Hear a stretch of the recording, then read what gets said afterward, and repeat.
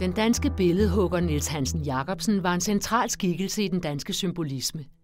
Med sine sære og nytænkende værker gjorde han oprør mod den herskende naturalisme og realisme i en evig stræben efter at skabe en form og en stil, der var et ægte udtryk for hans egen tid.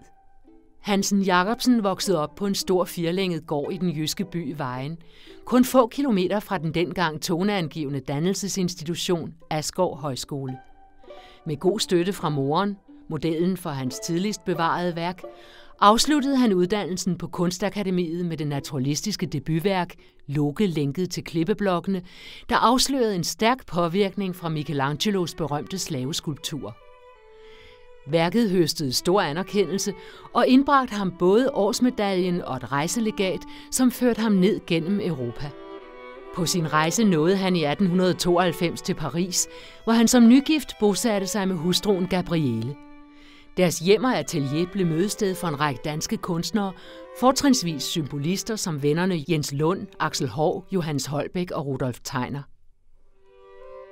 Sit europæiske gennembrud fik han i 1893 på Parisersalongen med Døden og moderen.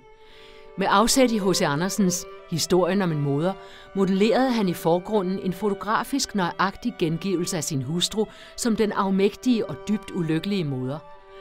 Bagved viste han med figuren af døden sit mesterskab i at give form til det uhåndgribelige. Livets eksistentielle vilkår var i årene herefter i fokus i hans skulpturer, og det var i hans Pariserår, han udviklede sin karakteristiske furede stil med dybe underskæringer i figurens kropslige tyngde, som danner senede dekorative slyngninger på hele figuren. Også i hans hovedværk Skyggen gik livets store spørgsmål igen. Her brød Hansen Jacobsen med alle skulpturelle traditioner for at give tredimensionel form til det, der ellers tegner sig som en flad silhuet – og han udstyrede figuren med et timeglas som et billede på den forgængelighed, som man også kan spore i ansigtets gradvise opløsning mod kranie. Han trak den genkendelige menneskekrop til anatomisk umulighed for at understrege skyggens langstrakte karakter og hermed gøre skyggen til et billede på menneskelivets flygtighed. I sommeren 1896 manglede han et atelier i København og lejede sig ind i et af de store kælderrum under det nybyggede Statens Museum for Kunst. Der modellerede han blandt andet trolden, der på Charlottenborg i 1897 blev udstillet i afdelingen for dekorativ kunst.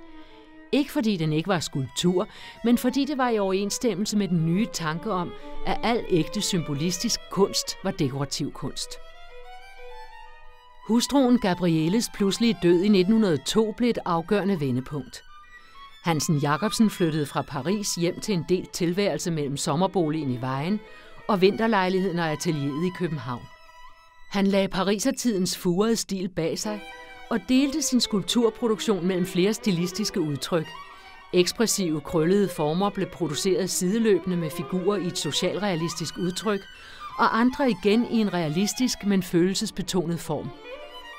I 1924 fik han sit eget museum i fødebyen Vejen, og sine sidste år brugte han meget tid på sin nyskabende særlige keramik – og på en omfattende produktion af hundredvis af helt utraditionelle grav- og mindesten, der i kraft af personlige forbindelser og kontakter gennem højskolens verden, den dag i dag står opstillet rundt om i hele Danmark.